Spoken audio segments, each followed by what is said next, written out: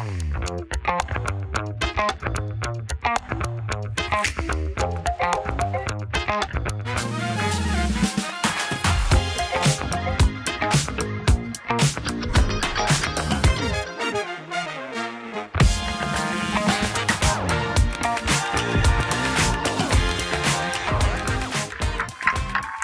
Thank you for being here. My name is Matt Jacobs. I'm an entertainment journalist, and I am delighted to spend a few minutes with the creator, writer, director, star, and producer of Fantasmas, Julio Torres. Hello. Hello. Welcome, Julio. How are you? I'm good. I was there and now I'm here. Yeah, that's right. Yeah. Time travel is Mhm. real. Um, we were both up in the balcony sitting through these two episodes. Yeah. This is the first time you've seen them with an audience? Y- yeah. Yeah. It's funny because making, well, especially when you make TV, you don't, you never think of an audience full of people seeing it because Yeah. famously, that's The not how, that's not how the, it's like, you know, on someone's laptop, you're lucky if Right, if you're the tab that they happen to have open. right, right, right. But to have a captive audience is what a what a what a privilege. Thank you for um, enduring it. Thank you. Yeah, it is a rarity for a TV creator to get to experience what they have created with actual people who are not already in your life. Yeah, and yet you think I'd be used to it because now I'm like, oh wait, I like wrote at Saturday Night Live. Famously has Oh, an that's audience. well, that yeah, that would be an exception. Famously has an audience. Um, but uh, yes. Uh, yeah, I don't know. I guess I was comparing it to to uh, making a movie where you assumed that there was going to be a theater full of people. This, I thought, laptop open, sun blaring, barely visible. Yeah. Yeah. Well, and funny enough, Problemista, your directorial debut premiered in this room. It did premiere in this room. Yes, one you're right. year, yeah. a little over a year ago Yeah, at South by yeah. Southwest. I uh, gather that some of you were here that night. I was Yeah. also. So this is a big year for you. Problemista came out in March yes. after March 1st. some delays, and then Yeah. now Fantasmas. Does it feel like a big year for you? No. No. This is every year for you now. No, no, no, no. Uh, no, because the the the joy is making it, is uh, writing it, is being on set with people, is collaborating, and this is just like, all right, people have to see it now. Well, I heard, or you have said, that this all kind of started with an earring that you once lost, specifically at a New Year's Eve dance party. Yeah. So when that incident mm-hmm. happened to you, how does that then snowball into Fantasmas? Well, I yeah, I uh in 2019 at the end of it, I was like it was yeah, Los Espookys had come out uh and another a special of my favorite shapes had come out and and it felt like and it weirdly it really felt like um no, but but you have opened a, a door that uh, into it being a Socratic seminar style. Uh, but no, it did. It did not feel cathartic. No, it felt. Uh, I. I don't know. I am not good with releasing work. I don't. I don't. I wish. I was telling my partner the other day. I for the rest of my life, I wish I could make movies and never show them to anyone. Um,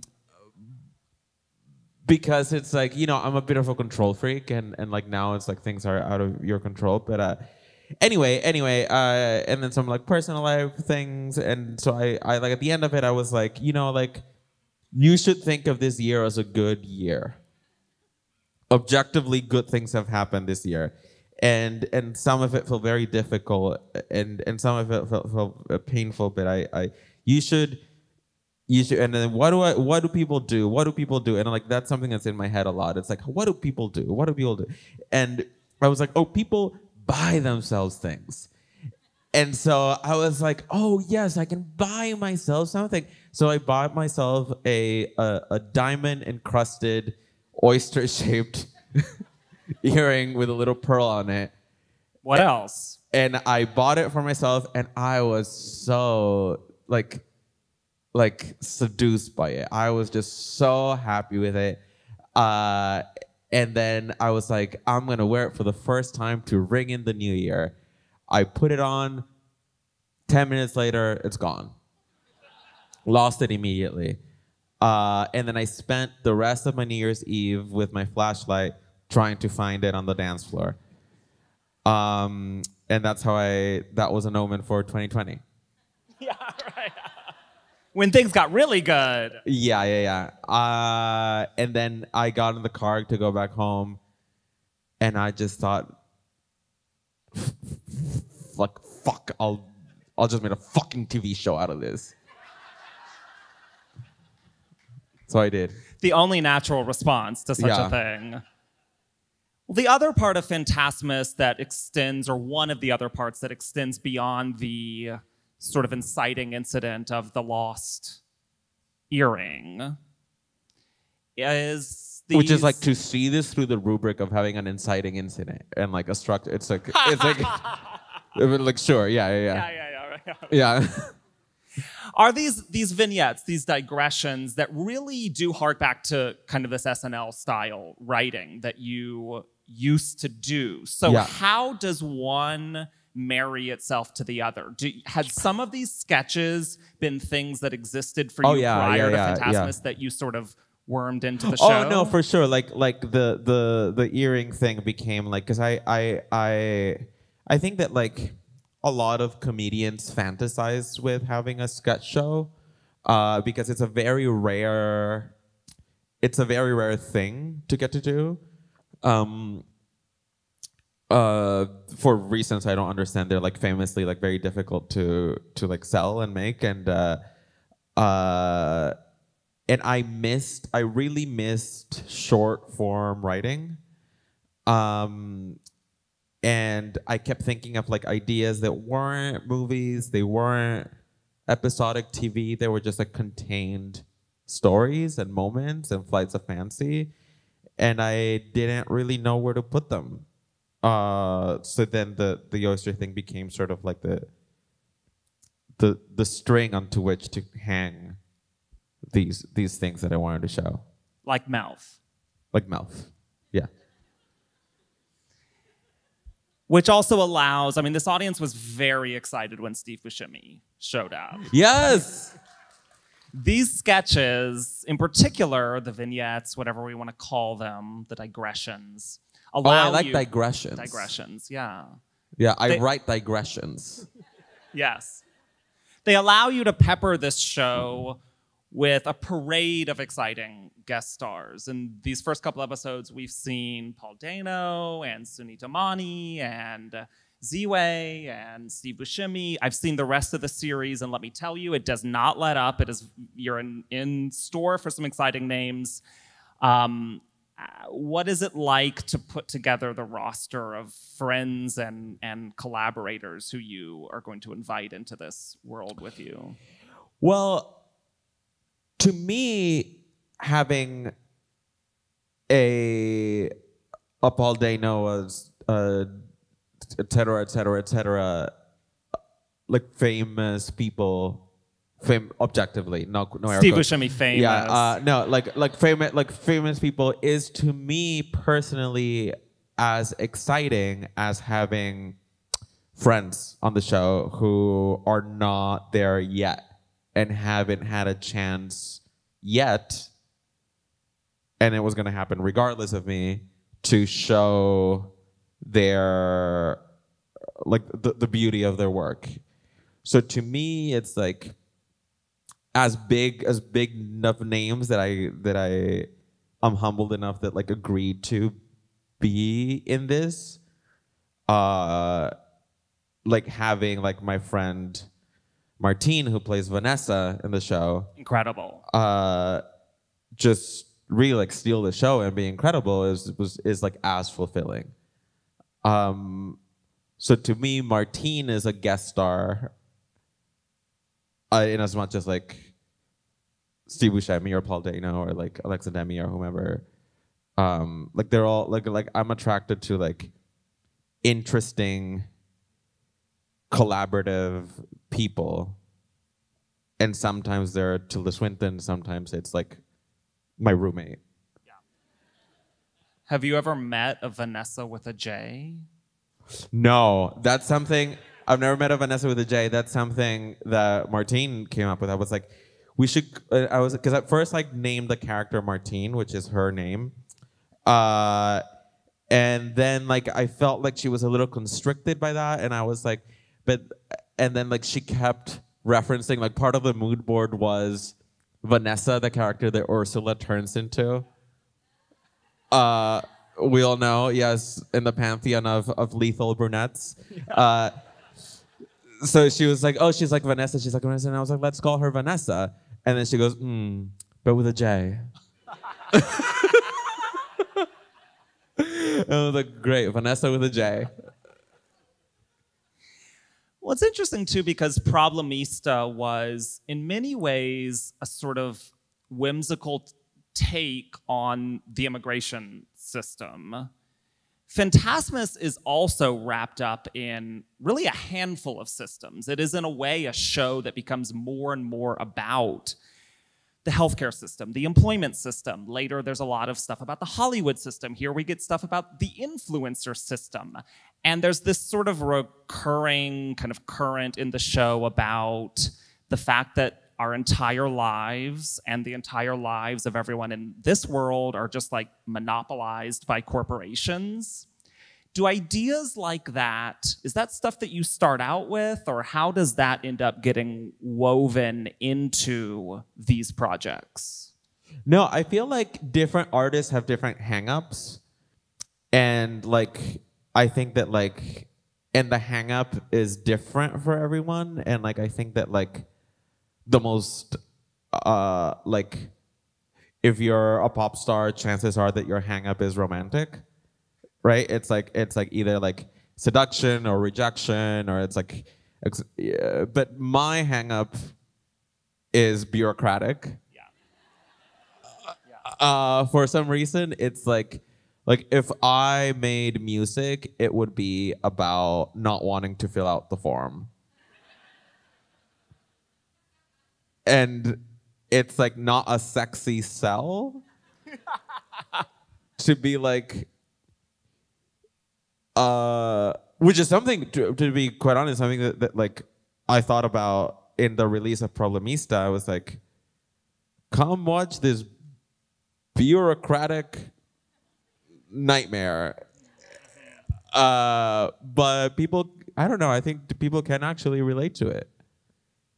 Yeah, absolutely. I mean, I think that you sneak ideas into your work, whereas someone else might uh, bang it on the head a little bit more. And you know what? And like people can relate to it. And those who and and something I've noticed is that those who like thrive in them resent it. Like thrive in bureaucracies, you mean? yeah, Uh huh. there's this one girl I know that like every time I would like sh- shit on like the idea of earning miles, she'd be like, "Well, what's wrong with earning miles?" like, I just went to Hawaii for free. Yeah. And it's like, all right, put it in your little spreadsheet. I don't envy you. I'll take full price just to not make an account with Delta. Problemista also used what, to my eye, were mostly practical locations, whereas Fantasmas seems to be sort of winkingly artificial. The sets have a certain um, unre- surreality to them, if you will. Uh, where did the sort of visual language, the production design, um, philosophy for for this show come from? I think it it it I I love sets. I love sets. I love getting to like make things from the ground up. Uh and uh it was in very early, very early conversations about this in like 2020 that if I if I have it right, my friend uh Dave, who's somewhere here, uh um was like because we were talking about like what can be shot during this pandemic? What can be shot during covid? Uh and then this idea of like having a contained environment where like all this it's all sets came about. Now i think practically that was not true that it was cheaper or better or easier in any like production sort of way. A lot of work to build those It's sets. a work to build up set, and it's a big crew to make them happen. Uh, and actually, there's no windows, so it's worse. Um, but I mean, we ended up shooting this like last year. Yeah, last year. But um, that sort of planted the seed, and then and then it's like I I like, and also weirdly, one of my favorite movies growing up was Dogville. Oh, incredible! And Yeah. all constru- It's all constructed set. It's one on- set. It's one It's one set. big one set, big yeah. room. Yeah. Uh, and then I and then I also over the pandemic saw this movie Mishima, which has gorgeous sets.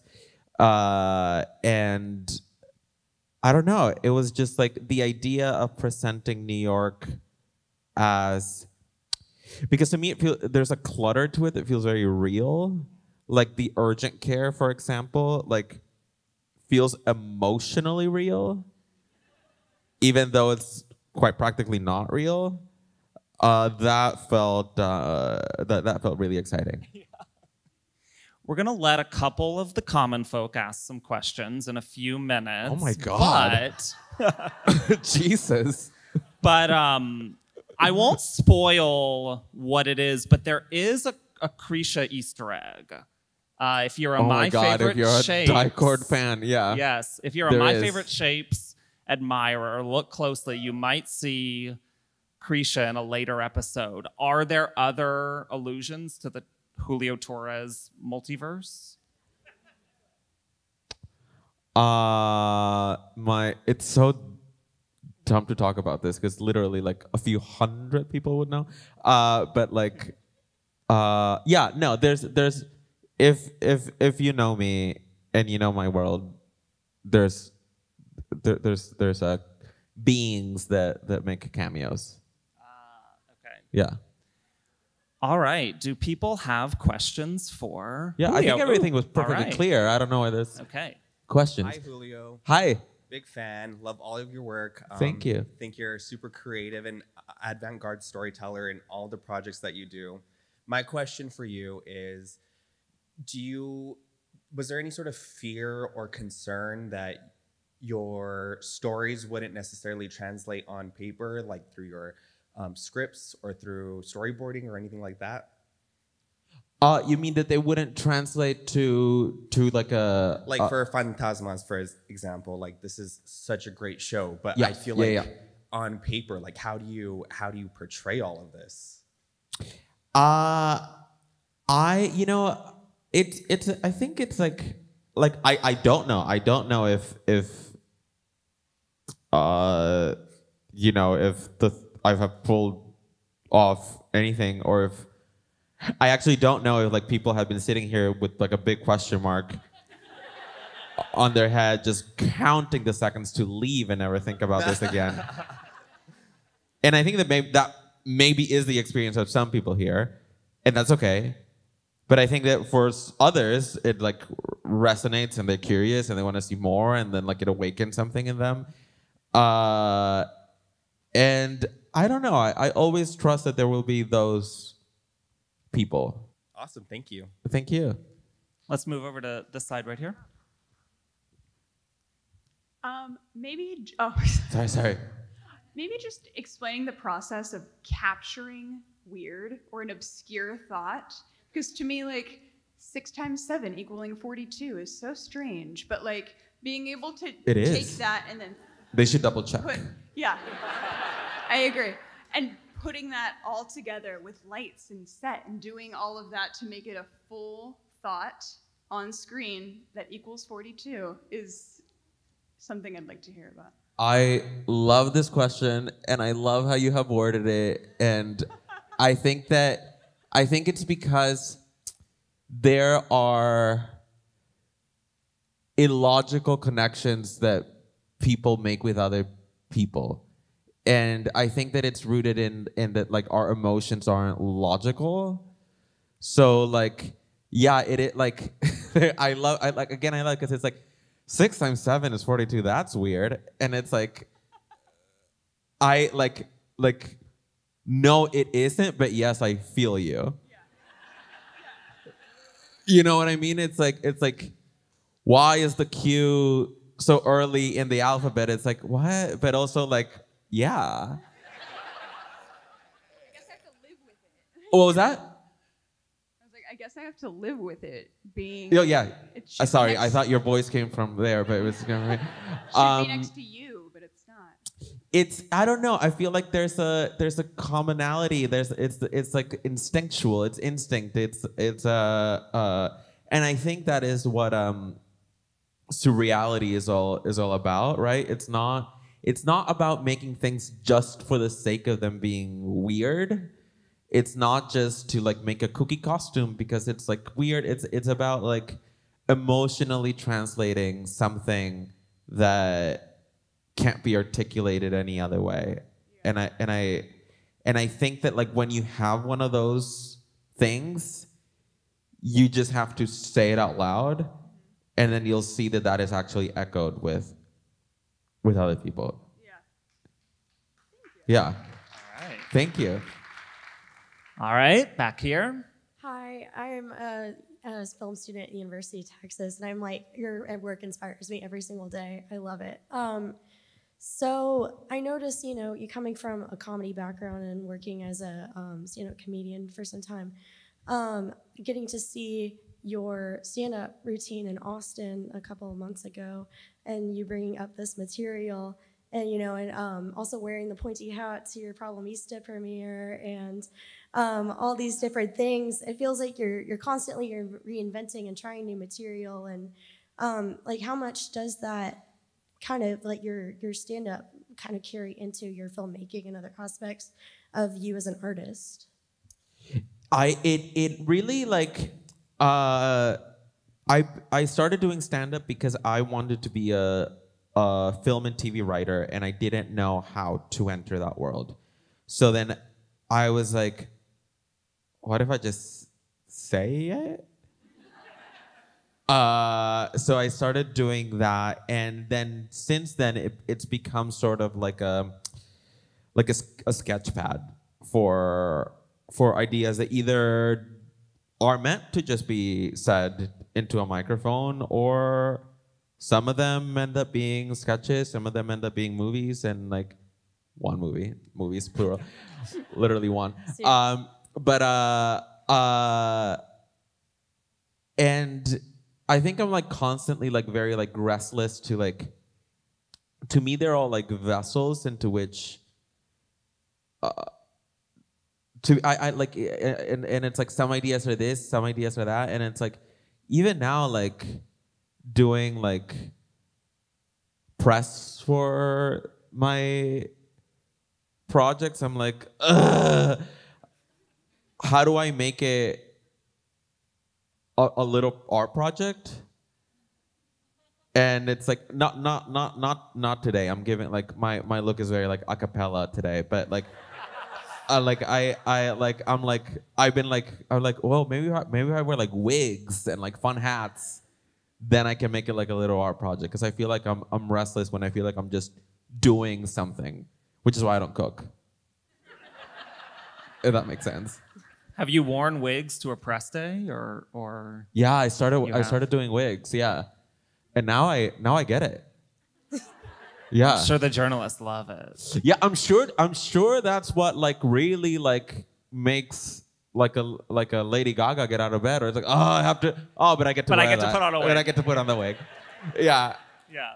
What Yeah. will my dress be made out That did today? not. That I very like. There is some answer in in there. Yes, definitely. Yeah. Thank you so much. Thank you. Yeah, that was a good question. Hi. Hello. Um, I'm a really big fan of um, Los Espookys. I think it's like one of the best shows I've ever seen. Thank you so much. Um, I'm still mad that it didn't get renewed for season three, but you yes. know. Um, Mm-hmm. um, uh, your character. Wait, what do you mean? No, sorry. Go ahead. What? Maybe in ten years. I bought a maybe in 10 house. years. No, sorry. Go ahead. Go ahead. Um, your character in that show, Andres, I know it's he's like not grounded in reality. He's very um unique, I guess you could say. And I was wondering, did you take any inspiration from his character to create this character in Fantasmas, Julio?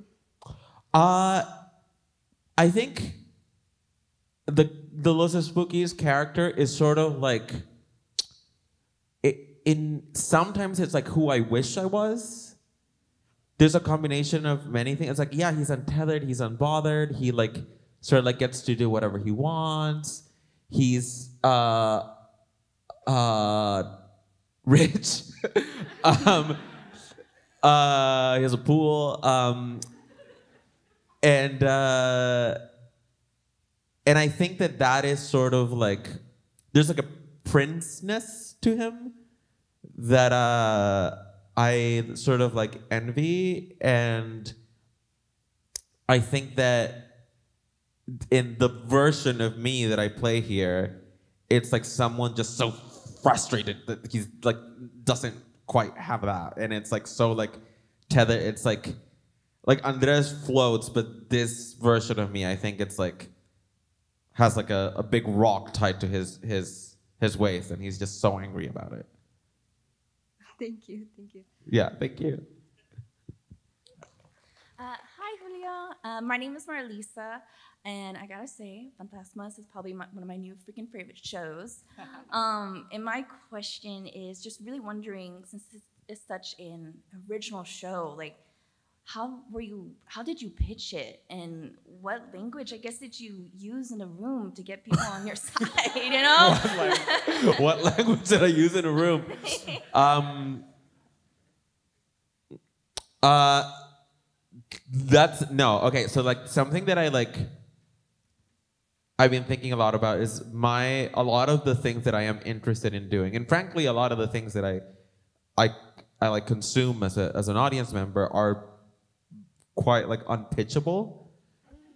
Um, and I think that I have been very, very lucky, and I constantly like say that I feel like I got in through the back door, and uh, by and doing it by increments, like I applied to write at Saturday Night Live, and then I didn't get it, but then I kept doing stand up, and they kept track of me, and they were like, he's interesting. So then I got a job that way, and then I, you know, started doing these sketches, and then uh, F- Fred Armisen had pitched a show, and then he like brought me and my friend Anna to do it, and then but the only reason HBO bought it, I think, is because they knew that Fred Armisen was interesting and odd and like would make something interesting and would bring interesting people.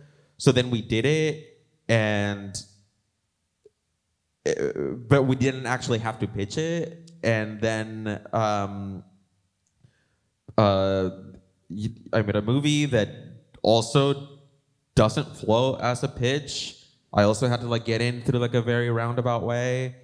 Uh, so I I feel like it's mostly just like through like almost like proof of concept and having being lucky enough to have people like be brave enough to to say like I don't quite understand what he's saying but something tells me it'll be okay yeah I Thank you. We have just a few minutes left, so let's try to get a couple more questions in before we wrap. We'll come over to the side. Uh, my name is Jalen. Uh, really enjoyed this show. I wasn't aware that we were getting two episodes, so that was great. Um, Sorry if we had plans. no. Um, so we saw in episode one that Julio, the character, could uh, understand how colors or letters embodied uh, different things. And so I'm curious, how did you know uh, the different cast members could embody their characters? Like we saw Alexa Demie play who she played on Euphoria. How did you know that she could become this bitch that loved Yeah. breathe insurance? Actually, it's different. It's different with every case. Like, uh, like a Steve Buscemi as like the letter Q was like obvious to me. uh, and he read the script and he was like, "Yeah, no, I get it." Like, "Yeah, yeah, yeah, yeah, yeah." So, so like pointy blue hair. Yeah, no, I get it. Uh, and then um, with someone like Alexa, actually, I had met her and we had really like really gotten along. And then I asked her if she wanted to do a part, and I offered her a different part that we haven't seen here yet. And she was like, "That feels a little too close to what I've done with Euphoria. But what about this woman? What's up with her?" And then I was like, "Oh, yeah." And it's like, because that's the thing. It's like people are like eager to show different parts of themselves. So then it's like for her to play this sort of like gothic, like uh, customer service by way of like the favorite sort of like yeah. being, it was like very exciting. And then you just gotta trust the actor, and I'm and and I'm glad I did. Awesome. Thank you. Yeah. Hi, Julio. My name Hi. is Anna. Um, I study language and film, and so Los Espookys is one of my like favorite shows because it's just awesome that we have non-English shows on streaming platforms. Um, definitely.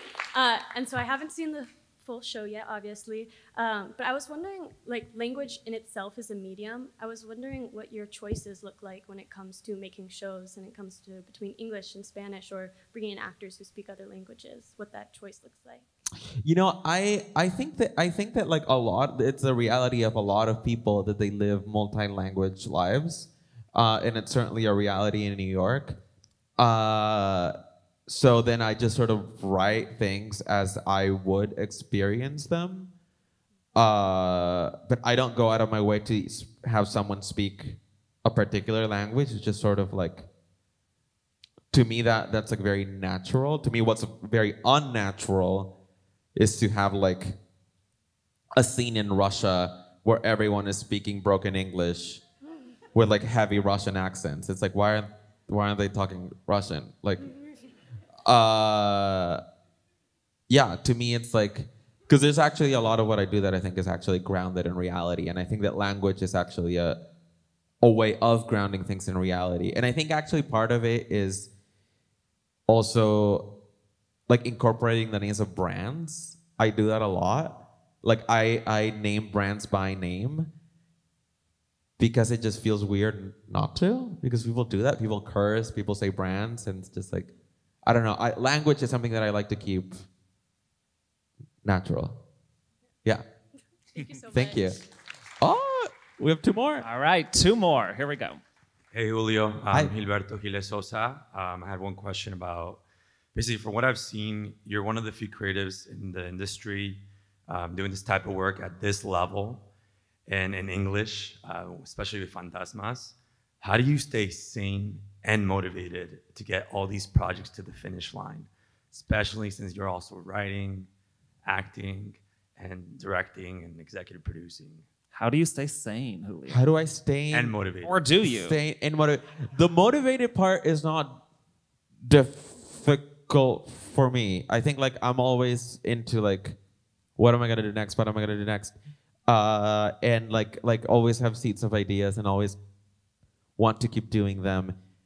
Uh, and then I don't know. It's really what brings me joy. I don't. I feel like I don't clock in and out of. I'm very lucky that I don't feel like I have to like clock in and out of work and I'm counting the seconds for it to stop. Because to me, it's like my joy comes in creating things. And since discovering that I can just do that with people that I like, uh, it's just like I don't know. It's where it's where I'm happiest. To me, the hardest thing I have ever done is going to school. like waking up every day and like do math. Yeah. All right, last question. Uh, hi, uh, my name is Ezra. Uh, big fan of all of your work. Um, I noticed in um, Problemista you had this um, kind of also one-off character, um, the, the the customer service lady who like sucks, and she has like the knife instead of the sword, and she like totally ruins all your stuff, man. I was just wondering, like, you also had Alexa Demie do this, and then what happened to you? Like, Yeah, I know. I know. was just curious, like, and also they're they're both. I think like in this there was like that thing about Bank of America, and she was the Bank of America representation. Like, I, I don't know. I was just like, Well, Bank of America, I have beef. yeah, Uh, yeah. Uh, no, Bank of so, Bank of. America did leave me at negative four hundred. Uh, um.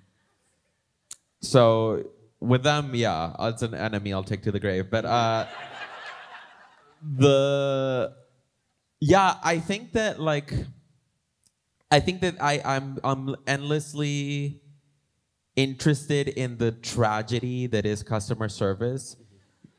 And by that I mean, by that I mean that it, you have like someone desperately trying to get something, and then you have someone withholding that from someone, but the the employee is is cl- just clocking in and clocking out.